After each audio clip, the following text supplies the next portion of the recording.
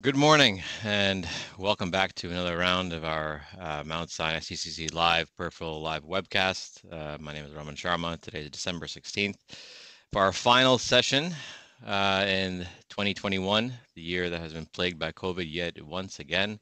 We have our final session uh, led by our, our um, uh, director, Dr. Krishnan, Dr. Gujja uh, in the lab today. Uh, we thank you again for joining us for the whole year. Uh, as as always, it's been uh, it's always a, a, a, wonderful experience sharing our live cases and our educational materials with with every uh, one of you. And we look forward to joining you as well next year uh, with our first live case of 2022 uh, on January 26th. and with that, I hand it off to Dr. Krishnan and okay. the rest of the team. Good morning, Raman. Thank you so much for the kind introduction and uh, welcome everybody to our uh, final live case of the year. As you know, uh, this has been an incredible year in terms of uh, you know all the all the difficult things that we've gone through, but I think everybody's pulled it pulled through in a wonderful manner. But most importantly, I think education continues, and I think education continues here at Mount Sinai.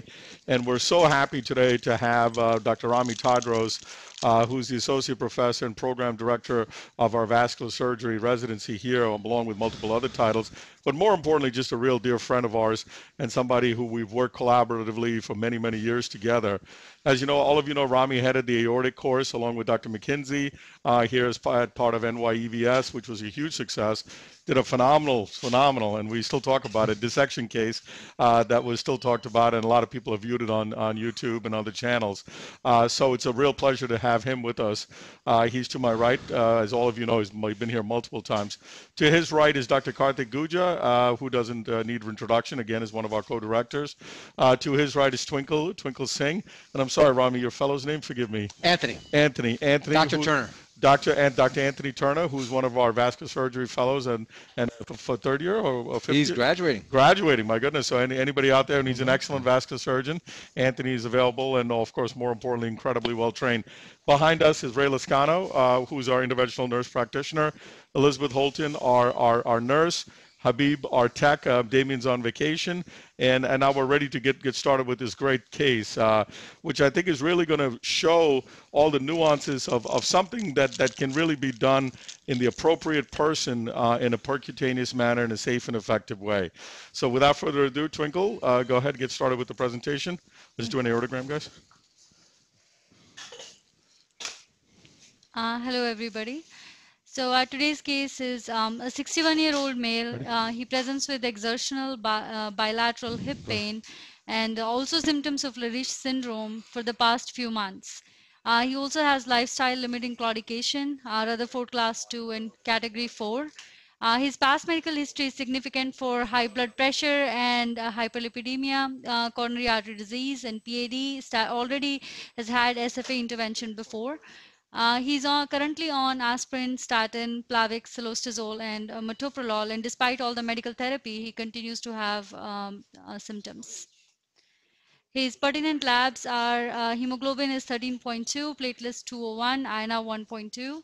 His ABI is 0.71 on the right side and uh, 0.62 on the left.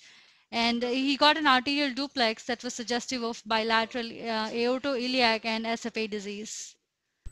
So this is uh, the uh, first uh, DSA of distal aortic uh, that we got initially, and you can see a very focal, uh, significant occlusion uh, at the at the level of distal aorta infrarenal. So the distal the distal runoff on both sides was essentially normal, and this, as you can see there.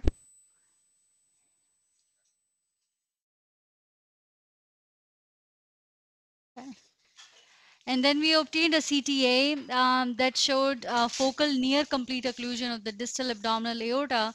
And as you can see there, the proximal vessel reference and distal vessel reference diameter around 1.5. And it's all infrarenal. Uh, potentially uh, soft plaque uh, and some calcification. So uh, that's the case. And now we'll show you the pictures that we are getting right now. Okay, so so I think I think it's very important. I think before we start, before I, am just taking some diagnostics, as you can imagine, we're all, we're trying to get this patient in at five in the morning and travel and all that stuff. For those of you who do cases like this, you know how it is. They're just trying to show both legs. Actually, it might be Yeah, better yeah. to show both legs Yeah, I got it. because you're going to see both. Do this in here. Yep, you're right there. It's perfect. So, so, so one of the things I wanted to talk to you guys about is, and ask ask Dr. Tadros, uh, you know, when you look at these type of uh, CTs in, in this type of preparation for this case, what do you what do you what do you think, Rami, in terms of what what what is the pre-op preparation for these cases that that you'd be able to see uh, prior to what information that you're going to need prior to planning such a case? The SFAs are open, and we know we've Yeah, got the yeah. CTs below the knee. Okay. Yeah, so I think number one is the CT scan or CT angiography uh, or an MRA. I mean, I think angle that- angle guy. I think you need axial imaging to assess the plaque, assess the Soft. lumen. Uh, for example, in this patient, just looking at the angiography, you would think that this is just a calcific lesion.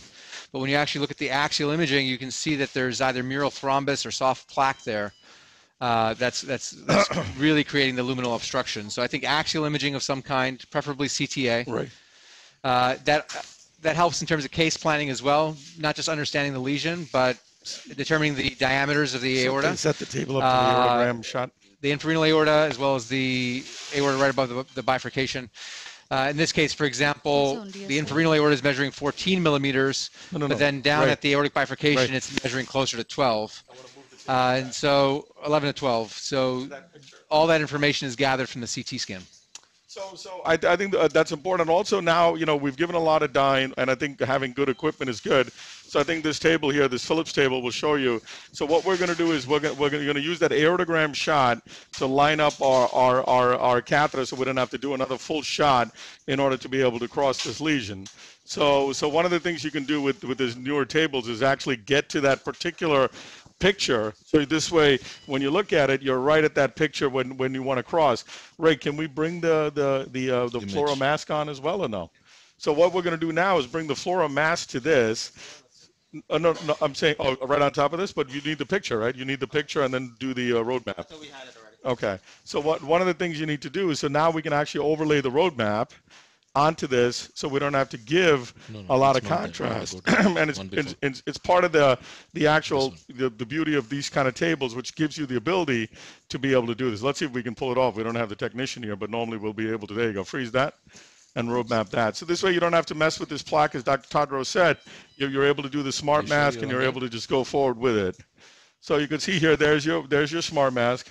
And of course, Karthik and, and Rami are going to laugh because I'm blind. I'm not going to be able to see this, but it doesn't matter. Here, go Karthik. You can cross it. So we're, we're going to we're, we're, going to go cross this. I'm just going to take the catheter up gently, and leave it at the level of the bifurcation. Let Yeah. Karthik cross it.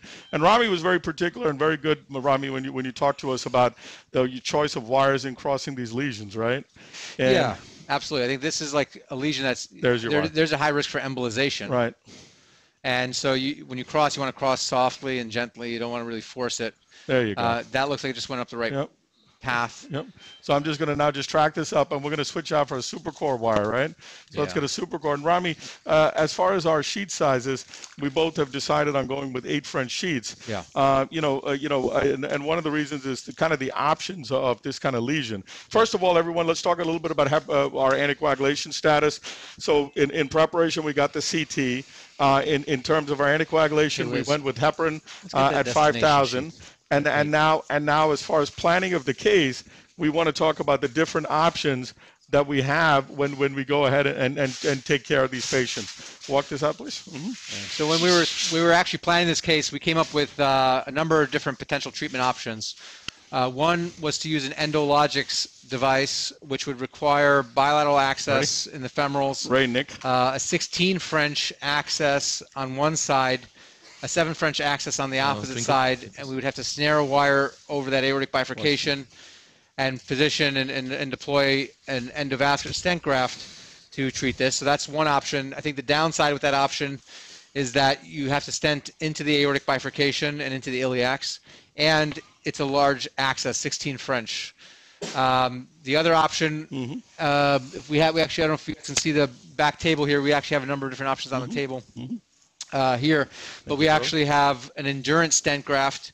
Uh, we picked a iliac limb to the Endurant which is a 16 millimeter diameter endurant limb that measures 82 uh, millimeters in length.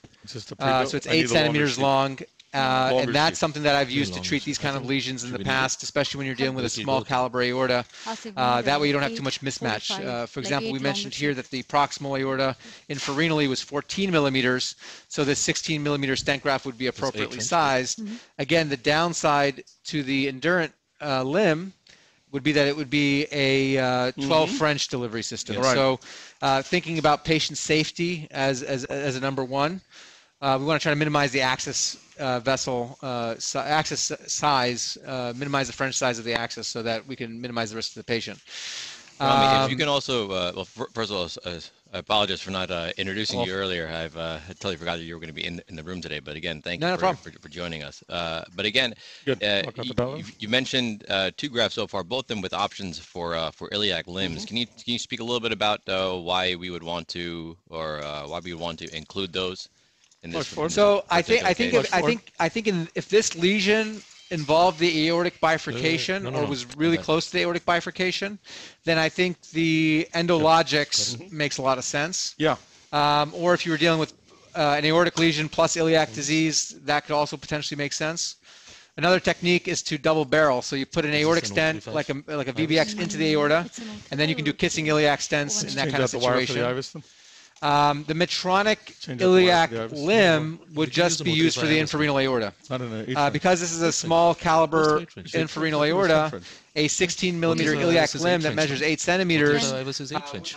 035 IVUS is 8 French, right? aorta, even though it was designed No, for the iliac. is 8 French, no? And then the two, Get o- out the two other options would be to use an 11 millimeter VBX, which we can then flare proximally if need be, or a 13 millimeter uh, Viabahn. The problem with the, the Viabahn is we'd have to basically use a, uh, it's a larger caliber access. Again, it's a, I think it has to go through 12 French. The, the 13 millimeter Viabahn has to go through a 12 French access, similar to the Medtronic limb.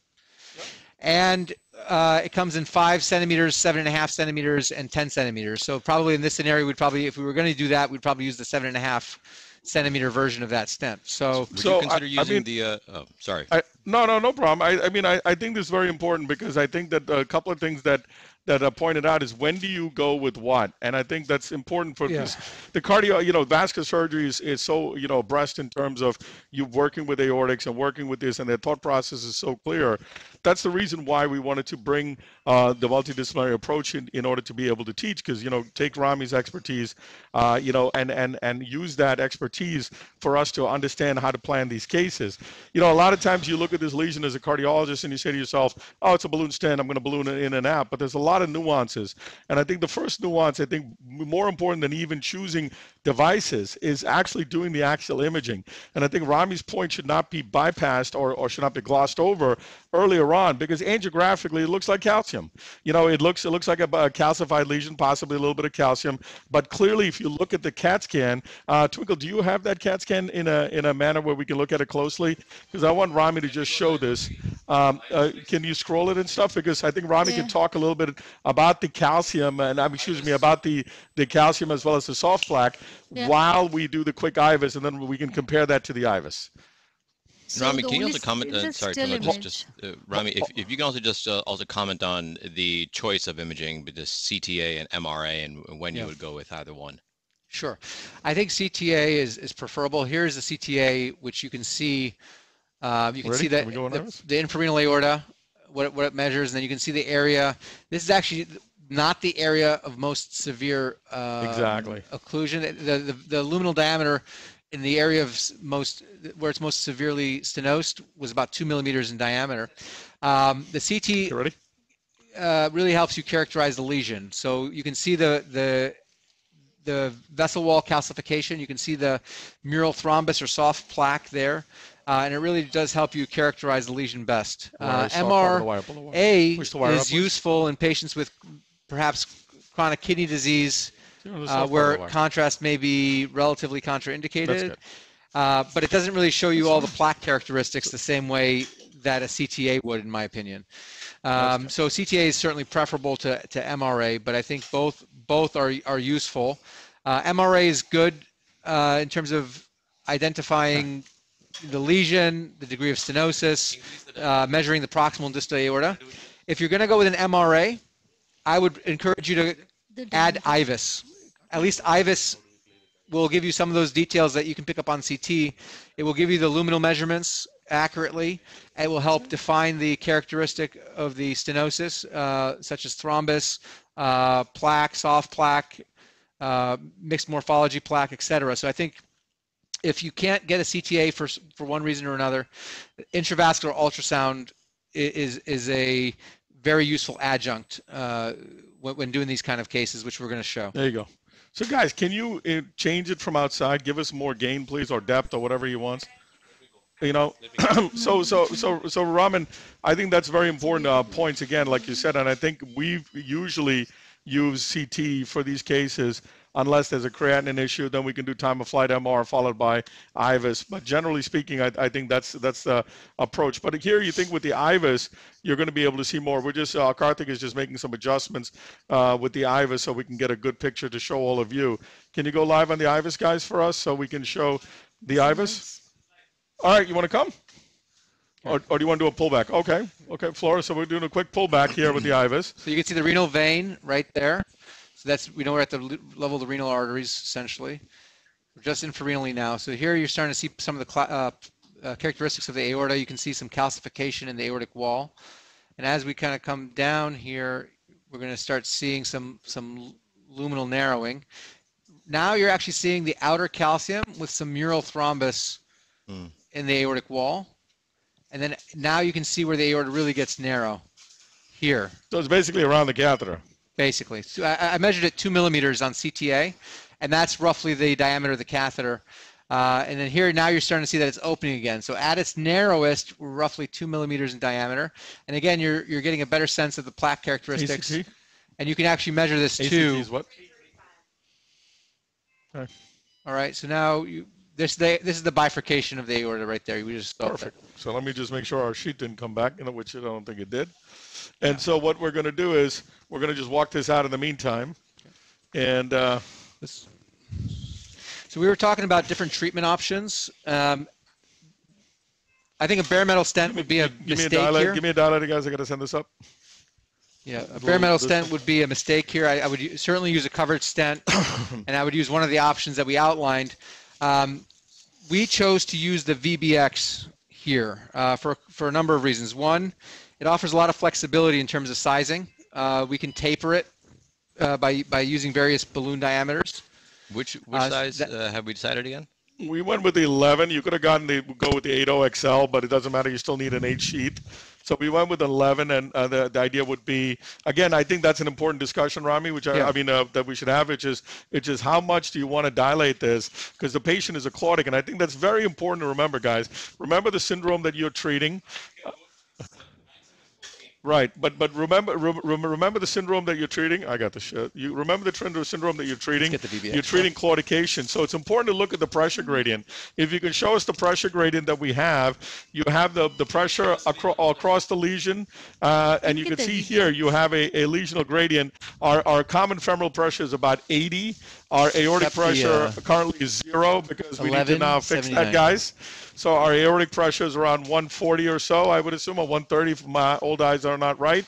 But uh, but you can see you have about a 50, 60 millimeter gradient. So with the 50, 60 millimeter gradient, um, I, I you know I, I think that you you'd like to reduce this. No, it's zero. You just got I don't have a pressure.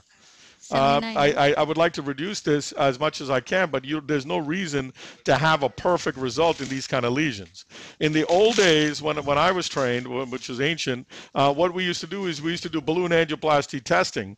So we, we, we well, you know, at that time, all we had is the old uh, um, guidance graft, which we used to actually crack crack the uh, the handle to put in. Have you ever used that one? So the, the Ancure graft. But but uh, but the point is that I think you know back then we just used to balloon this and see how the, the lesion responded. the As the lesion we'll responded and as the gradient got better, if we didn't have recoil, we just leave it with a balloon. And I don't think there's anything wrong with that if you didn't have multiple significant recoil. But if you do have significant recoil, then the issue is going to be is is is is what is it uh, that you have to treat with? And back then we only had bare metal stents. Matter of fact, I remember when Dr. Marin used to run our, our vascular course back in 2004, we actually had a, uh, a, a, a, uh, a case of, um, of this aortic done by back then our Dr. Carroccio. And Dr. Carroccio actually just put a bare metal stent and just reduced the gradient by about 50%. And the panel said we were done. It was a beautiful case. So it's very similar, but now we have so much new technology. We have these wonderful stents. I'm, I'm just going to put a little pressure on the groin here with these wonderful stents uh, it, it, uh, through which we can actually go ahead and, uh, and, and, uh, and achieve such great results. So the, the stent is now in. Obviously, it is it is uh, reducing our gradient. So now it's important to find our renals. And uh, Rami, I mean, why don't we uh, take a picture here? You agree? Yep, I agree. All right. So we're gonna just take a picture here. Uh, sir, can you wake up? Yeah, I, I want you to hold your breath for a second. Ray, pull that back. Okay, I just want you to hold your breath. Yeah, that's an important point that Dr. Tadros is making. We're going to pull that above the uh, the stent uh, to make sure we can really see the renal. Sir, take a deep breath in. Take a deep breath. Let it out. Let it out. Now don't breathe. Don't breathe. Don't breathe. Don't breathe. Go ahead. Yeah. Centimeter, as I thought. Yeah. So you can see You can here little bit. we have to go in a little bit. This breathe normal. Breathe normal, sir. So now we're going to adjust again. You want to make that a roadmap, or you can just take another quick puff. We gotta take a quick- quick puff, but I think um, what I'm using actually is the bony landmark. I can Okay. see the, the end plate Oh, of right the uh, vertebral body. Yep. Exactly. So that's going to be perfect. And then actually, uh, one second, may things just get adjusted? You're still a little long, huh? Like another half a centimeter or so. Right there. It's going to shorten It is. too. So go ahead and let's just do, do a run there. Ready? Sir, sir, take a deep breath. Let it all the way out. Yeah. Now don't breathe, don't breathe, don't breathe, don't breathe. Perfect. I think that's perfect. Breathe normally, sir. So you're, you All right, can, it's important that you're around uh, to keep these bowling landmarks and, and where you are, but very important now to hold the graph still. And, you know, it's also nice to have an awake patient so you can see how they feel. Sir, let me 10 know how you feel. Okay, just relax. Don't no no movements. So the nice thing about the VBX is that you can actually adjust the size based on the number of atmospheres. So we're going to take this. Yeah, go ahead.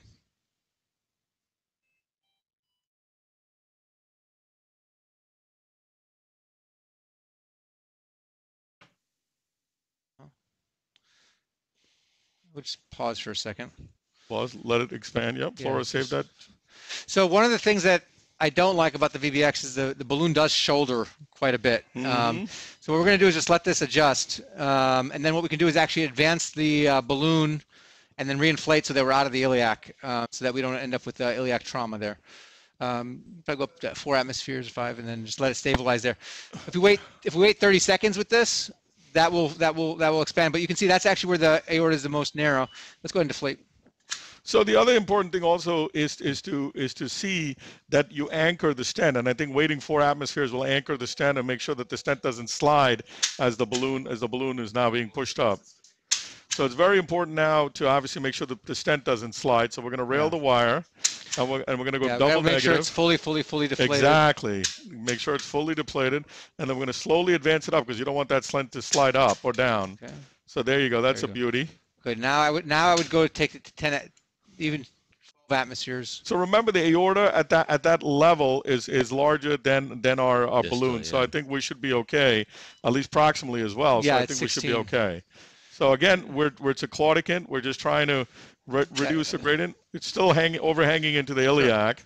So we're going to go down again, and now we went up a little bit higher, so it should definitely be A- And, actually, this shows how much that uh, VBX shortened. Approximately, we lost at least half a centimeter. Yeah. Um, so we're well below the renals now, and we're we're actually at a good, good, good place above.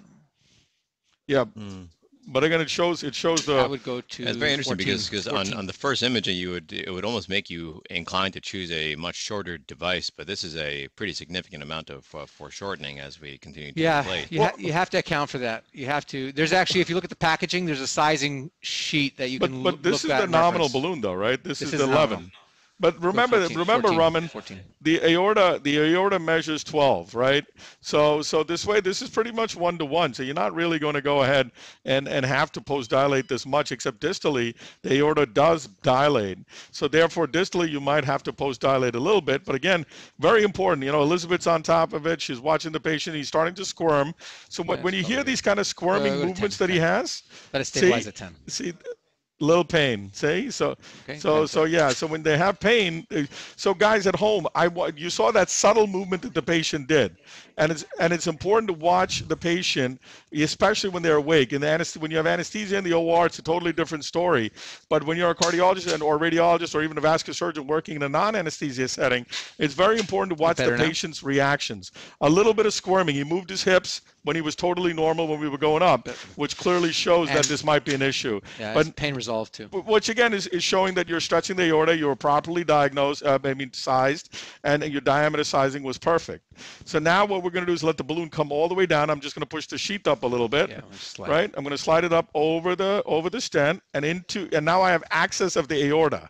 See, that's the key now. This is the key, and we teach this for iliac stenting because you want to have access across the stent in case you perf. We have it. So in case you perf, now you also have aortic occlusion balloons that go through eight French sheets, right? So I'm holding positive on the st- on the on the sheath as Dr. Gujja is walking it out. So now, so now if we, if God forbid we have a rupture aorta, we can use an aortic occlusion balloon. We can use whatever we want, and we don't have to track it through our freshly laid stent. So at this stage, we're not going to give up our access except across the aorta. We're going to take a picture, and I, now my pressures come back, and my pressures again showing that it's pretty much even. So we're going to do a quick DSA. Lovely. Sir, sir, take a deep breath. Deep breath in. Let it all the way out. Now don't breathe, don't breathe, don't breathe.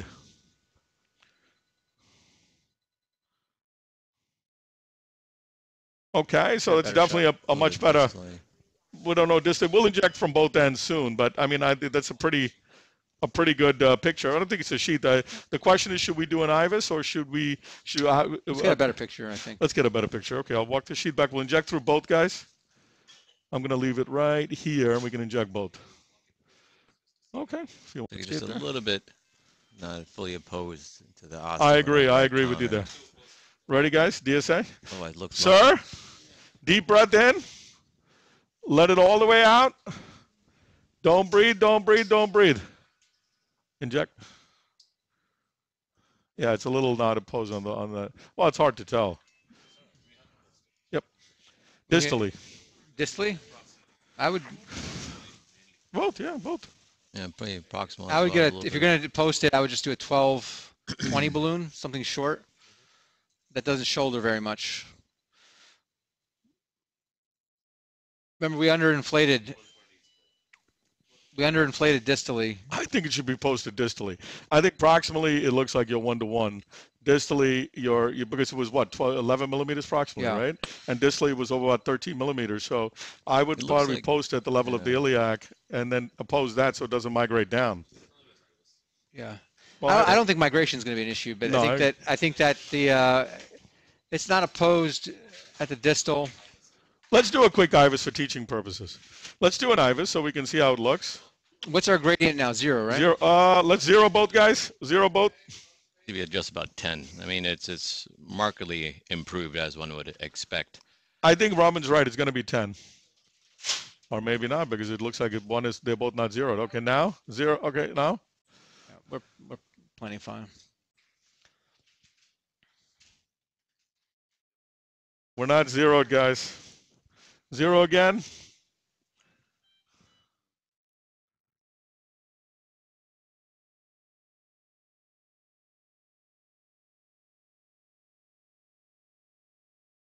We have that 12 balloon.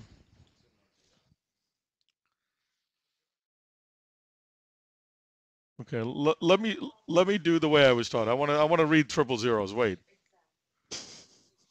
All right, good. All right, ready? Now go. Still not zeroed. Any particular reason why we can't zero in a cardiac cath lab? Could we also pull up the human the hemodynamics so we can see it on our live screen here? Yeah, show us the hemodynamics, guys.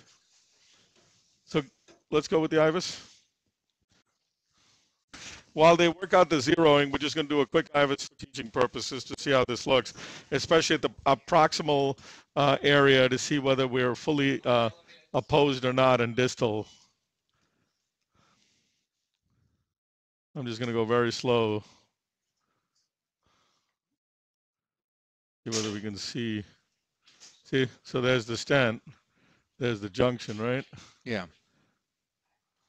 It could be flared out a little bit. Got to flare it out. So that's good.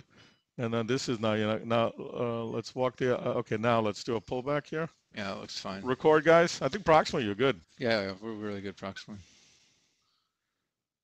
I, as the distal's probably okay, but it's worth flaring.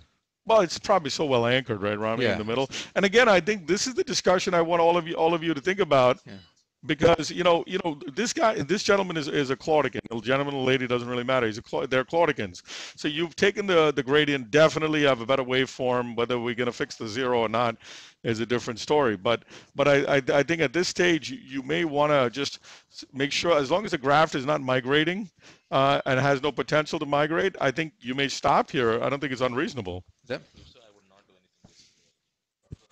Also, just just the record, uh, Dr. Gujja, I think your mic I is just off. touch it to like, turn your mic let's on. get that balloon. I think distally for more wonderful proximal. comments Yeah. we need to hear for the audience. Yeah, I think I think Robin. I think there's a little bit of a Bring out the disagreement. Good, Dr. Gujja wants to uh, post dilate proximally. Probably. Me and Dr. Tadros feel proximally is good. Do you feel And, it? uh, Uh, can you hear now? Since Yes, yes. Now we you can know, hear you. So I think um, based on the IVUS, I feel like actually the proximal is not more apposed. I think the distal is pretty well apposed actually. Um, if you actually look at it right now, the sizing of the proximal, you see there is a. uh, I mean, don't we can it. put a chromaflow and see. Yeah, I mean, it it, it looks like on, on the Android there's like a, a, a tiny sliver One of a shelf going Yeah. around, but I guess to Rami and Dr. Krishan's point is that is is that of any overall clinical significance at this point?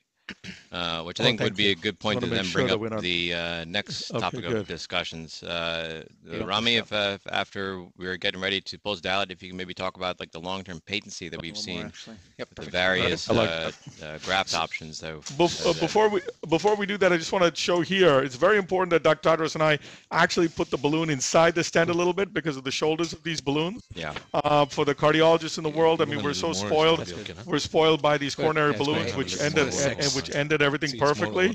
So do a so little bit more. Yep, I am. I'm There's just gonna gonna be a lot of a overhang. There you go. That's good. That's So good right there. Yep, there you go. So I think it's important to remember that these balloons actually will overhang even with that much. You see the overhang. That's good. I think pain, pain, Yeah, pain. stop that for some. There you go. So again, a subtle movement is all you need to tell you that the gentleman is having pain. Save that, floor. Save that, please.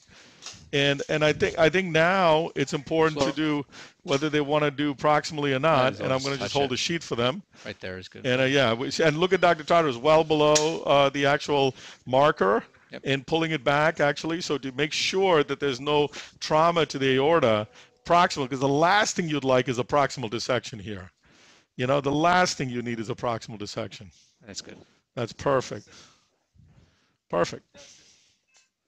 Yep. So now Okay. we've actually Yeah, satisfied all parties involved, right? Flora save, please. And I think to answer your question, um, um, uh, Raman, I think patency here is not going to be a problem at all. I mean, I Yeah. think, uh, you know, There's no, unfortunately, there's no data on isolated aortic stents, um, but but we know from from the iliac data that the, the covered stents do better uh, in the uh, for aortic What are occlusive about? disease. I'm just saying, why can't we zero it? Oh, now okay. it's better. but go ahead. Coverage stents do better. Obviously, COBEST trial is COBEST, yeah. yeah we don't we Uh, don't have any data on this and you know it, but but but if you if you take any credence into the larger the vessel lar- qu- better, better the flow Yeah. better the outflow higher the pressure through the through that Once i mean a, once a, once un- unlikely to have any issues going Right. on I would think that it's at least comparable to iliac stenting with covered stents, probably better uh, because we rarely use this di- diameter in the in the iliac circulation. I mean, this is a pretty big stent. This is a 12 millimeter stent, um, and so in the common iliacs you might use a, you know, a 10 millimeter stent. Um, so I think that the patency is going to be at least at least 80% at five years, if not better. Agreed. yeah. Now, if you just go around the room, what's what's everyone's choice for uh, antiplatelet platelet therapy for this patient Aspirin, afterwards? I honestly think aspirin alone is adequate. Um, for this such a large stent. It's a covered stent. So if you kind of translate the data from aorta bifemoral bypass or uh, you know Yeah, that's iliofemoral bypass, Pressures are equalized. the the a- typically aspirin is adequate. Uh, certainly, if a patient has other risk factors, um, doing dual antiplatelet therapy for a month is totally fine, and then transition back to aspirin. So let's take a quick picture So here. now the pressures are equalized. Well, they are, they are a little bit lower than they were. That could be because of a little bit of vagal uh, or sleep apnea, one or the other. Ready, guys? Let's inject from the above and below. Take a deep breath, hold. Breathe normally. So I mean, I mean, I mean, I think Dr. Tadros' point is so good there because if you think about it, as a cardiologist, we would just go ahead and put them on Plavix and aspirin together, right? Take a deep breath. Let it all the way out. Okay, breathe normally, breathe normally. Deep breath. Deep breath. Let it all the way out. Don't breathe, don't breathe, don't breathe, don't breathe. Hmm. It looks great. I wouldn't do any more. Yeah, we're done.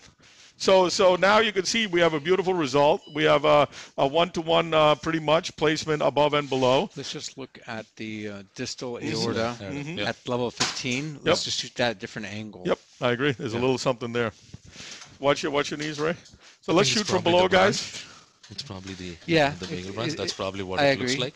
I agree, but let's be 100% Yeah. So you know you can see a double shadow that we all picked up in the distal aorta. So we're going to shoot from below here, and just to make sure, I'm just going to hold this here at this level, and we're going to do a hand injection with high pressure, Karthik Gujja strength here. So we'll take a picture. Here we go. Don't break it. Looks like a little bit of retro.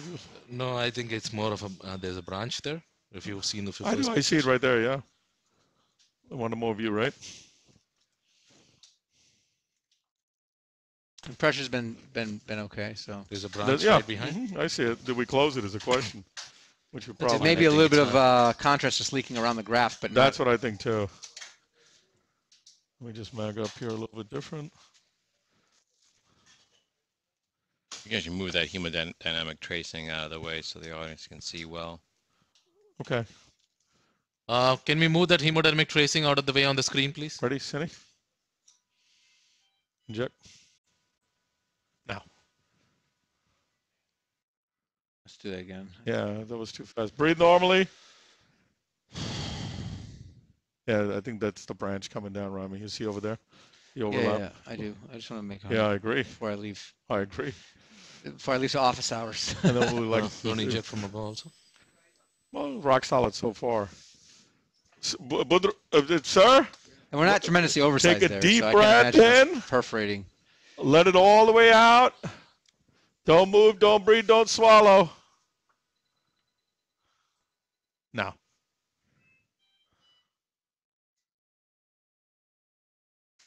Branch, right? The branch, that's what I feel see too. Breathe normally. Yeah, you can see the branch now. I think what's happening is we have a little bit of reflux around the graft, and it's filling that branch that we saw in the previous angio.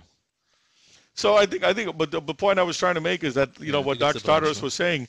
I think here aspirin Yeah, is phenomenal. I mean, if you don't There's want to put them on Plavix, no other reason. Yeah. I think it's I think right with this much flow through the clot, there's a- aorta, I think you're phenomenal. If you do have any issues post, I think what So you see need to do branch coming right is uh, is go So ahead at this stage. If you, filling you from from, your angiograms you're not seeing anything, you might have to get a CAT scan if the patient is hemodynamically compromised in any way. But here, from all this look, and we have an anticoagulation with an ACD of which is filling to 300 you, and it- without any uh, what it is. uh, drop in uh, hemodynamics. I think we're going to be fine. We are now going to do post take runoffs of the foot, just do- mm, and and you want to do a caudal? Yeah, let's just do Caudal. one last caudal. I would Caudal probably do a caudal Sorry. just to see. We've um we're always very very cautious when we're we're doing aortoiliac cases with calcific vessels. Ready? And so we just Sir, wanna- deep breath in. Let it all the way out. Let it out, let it out, let it out. Don't breathe, don't breathe, don't swallow, don't talk. Don't breathe. Inject. why is the image shitty? Breathe normally. Oh. Breathe. Sorry. Okay, one more time. Just inject from below, Karthik. Yeah, I got it. Okay, good. Deep, deep It's like breath in. Contracting out or something. Let it out. Don't breathe, don't breathe, don't breathe. Inject from. It's just bowel gas. Yes, I agree. That's just bowel gas. Okay, breathe This is normal. good. I'm happy Yeah, with it's that, always- guys. yeah. I think this is good. There's bowel gas back there. I don't see any Yeah. area of extravasation. And the pressures are completely equalized. So Yeah, it can be confusing sometimes. It can, Yeah. my goodness. And I think, like Dr. Tadros said, you want to make a diagnosis in the in the OR or in the cath lab before you Let- leave. Let's talk about that. you So know? what what would be our our bailout option here? So, yep. Say there was a injury at that distal aorta just above the aortic bifurcation. to convert it into Well, a syrup. So exactly. I think you have, you have two potential options. One is to do kissing iliac stents from both sides to raise the uh, bifurcation somewhat. The problem with that is you can still get guttering Yep. around the two stents uh, when you have Just a double barrel stents like that. You can still get guttering, but probably if you inflate enough proximally into the aortic stent This is a regular run. uh, and, and use a long enough uh, kissing stent uh, Of and you reverse anticoagulation, that probably probably would be okay. Of DSA, Um, chase, right? If you have access regular to a device like an Endologix, that would be the more definitive uh, type of fix, or an, an EVAR device where you you know you basically create a new neo-aortic bifurcation with a standard EVAR device. So I You're think gonna do a run. what I would probably do in this situation so where we, high? we don't have the Endologix device uh, immediately available, if I would probably do double barrel you're not going to be able to know because the pressure is uh, not so into high. the into the aorta. What would you do, PK? Double I, barrel I would probably do, the- you know, you know, honestly, at this Yeah. stage, I think you have such a great seal dista in the aorta. Yeah. Uh, obviously, then I think a double barrel uh, with the iliac Yeah. limbs probably would be easy. Yeah, Uh, but yeah. at the same time, I was just going to comment uh, to the cardiologists and the out there and the radiologists. You know, this is where your collaboration with vascular surgery is very important. Once you have a perforation of the aorta, you clearly, clearly want to have multidisciplinary approach if if you're unable to control it and you want to make a joint decision. I think that's very, very important. It's a joint decision because experience and understanding of how things are are very important uh, when this happens. You don't want to call after you've done 20 things, ready for run, and and and now you're in real trouble and the patient inject and the patient's not doing well, you don't want to call at this stage. You want to make sure that you have a joint decision made, and we're just making sure that we haven't embolized into the foot. And we're going to do a DSA at this level because of all the level of the aortic plaque. One uh, downside that I did not mention with the VBX Uh huh. is that it can't be clamped. Right. So Yeah. in the right. in the Yeah. event that you have to do something open, uh, something I'm surgical, this back. the VBX because it's self-expanding. If you clamp it, it's going to actually crush, Okay. And you're going to basically have to either explant that stent or do DSA something below with the it. knee. Uh, here we have we have at least a centimeter below the renals. Okay, In the event we had to do something open, we actually have a centimeter below the renals where we could Right. clamp. Hmm? Um, if we use a self-expanding stent, either a Viabahn or an or like the Medtronic limb, those are self-expanding, and those you can actually clamp with something like a Fogarty Hydragrip clamp. So that's one other consideration for the, for the surgeons that might be uh, watching. which and, and for the cardiologist to have a discussion prior to putting it in. You know, you want to make sure that everybody's on board if, if anything goes uh, awry, and you want to make sure there's joint decision making. See, the amount of decision uh, discussion we had here. I mean, we work we work so many years together that we uh, we really understand one another, and I think we work collaboratively. But I think it's important to have that discussion because you know, Dr. Tadros and his team had everything prepared. I mean, they, we talked about you know the Medtronic limb, we talked about the uh, the uh, the Viabahn, we talked about. So I'm sure he talked about surgical options with Dr. Gujja. I mean, there's so many things that we talked. We talked about shockwave therapy, whether we need to or not. That we, the cats can't change their mind. So I think you know this kind of collaboration is incredibly important. And now we've we have achieved a beautiful result with this patient, and I think we're, we're all done here, Rami. Right? Yep. And thank you very much, sir. Thank you Nice for your time. job. Thank you. And uh, and uh, and uh, we want to wish on behalf of Dr. Tadros, Thank you.